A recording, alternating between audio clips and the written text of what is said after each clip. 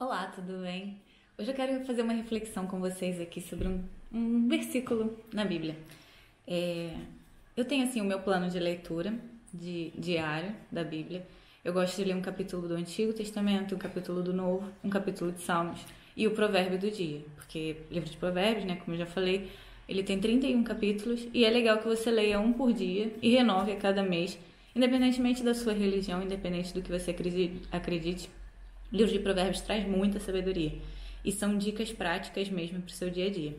E além dessa leitura básica, assim, que você consegue fazer em 10, 15 minutos no início do seu dia, é, eu gosto de, às vezes, fazer aquela coisa, assim, de pegar a Bíblia e abrir num lugar aleatório, num, num texto aleatório, que nunca é aleatório, né? Nunca é ao acaso, sempre vem uma resposta de Deus. Porque a palavra de Deus, é, ela tem poder nela.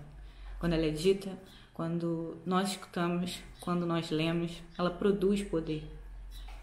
Mas essa é uma conversa mais profunda, a gente deixa para outro dia. Hoje aqui eu queria só compartilhar com vocês que hoje, quando eu fui fazer isso, né, de abrir a Bíblia em, em qualquer lugar, assim, eu tive uma resposta de Deus. E talvez essa resposta possa ser para você também. E eu abri aleatoriamente no livro de Isaías, capítulo 3, versículo 10, que diz assim: Dizei aos justos que bem lhes irá, porque comerão do fruto das suas ações. E é aquela regra básica da vida, da Bíblia, é a sabedoria de que você vai colher aquilo que plantar.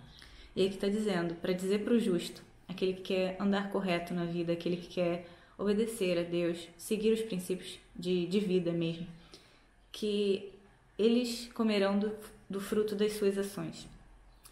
E isso Deus falou ao meu coração que você pode estar pensando que já plantou muitas sementes boas, já fez o bem muitas vezes, já agiu corretamente e você não está vendo o retorno, você não está vendo, você ainda não está vendo o fruto das suas escolhas e das suas ações.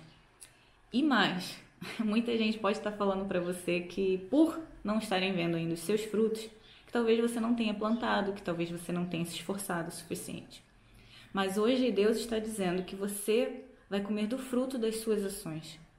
O justo vai bem porque ele come do fruto das ações dele. E o que significa? Que todas as sementes que você plantou e que nesse momento elas parecem escondidas, parecem que não estão frutificando, Deus está germinando elas. Deus está dando crescimento a essas sementes. Tudo que você plantou. E Deus dá o crescimento. Ele vai fazer com que nasça a árvore, com que nasçam os frutos e você vai comer esses frutos.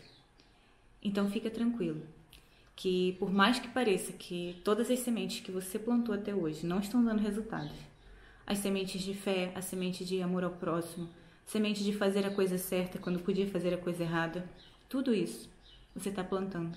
E ainda que você não, tenha, não esteja vendo que a árvore vai nascer e que os frutos vão nascer também, Deus está colocando isso no teu coração hoje, essa certeza de que você vai comer os frutos daquilo que você plantou.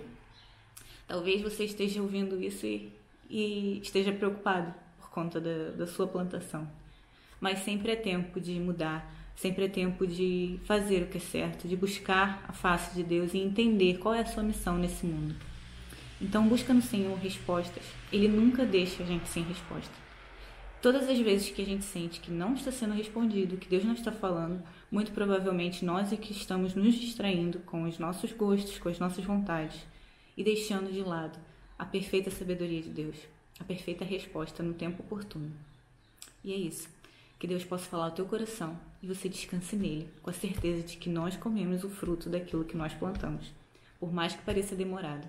É apenas a manifestação da misericórdia de Deus na sua vida. Que Deus abençoe. Nos vemos no próximo vídeo.